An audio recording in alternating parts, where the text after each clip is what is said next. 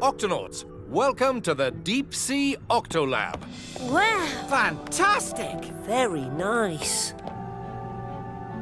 Mm. Yowzers! Octonauts, our mission is to take the Deep Sea Octolab all the way down to the bottom of the Mariana Trench.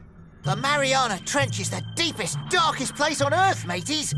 And once we've set up the Octolab, Dashi and Shellington will stay for a few weeks while the rest of us return to the Octopod.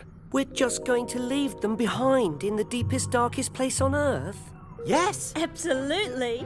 we'll be the first scientists to live and study down in the trench. We'll be able to take pictures of parts of the deep sea that no one has ever seen. And discover new creatures, I hope. And do it all in a place so dangerous that even pirates have never gone there.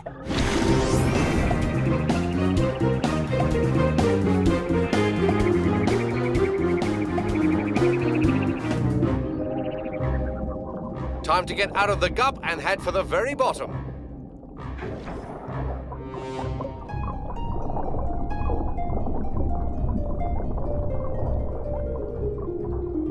We've made it to the bottom. Whoa.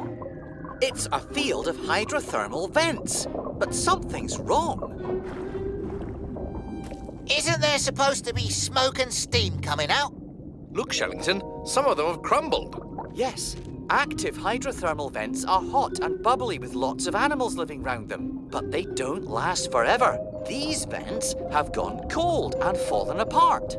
Aye, and there's not a creature stirring. We can't put the deep sea octolab on top of these crumbling vents. Agreed. Let's keep looking for a better place.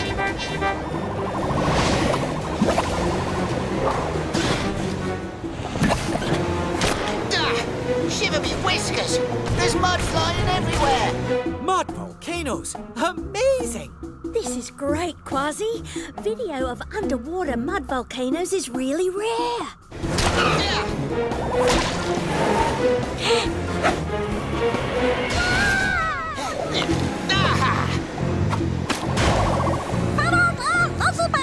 Ha, we'll get it, matey! I'll get as close as I can, and you nab him with the grabber, Chinip!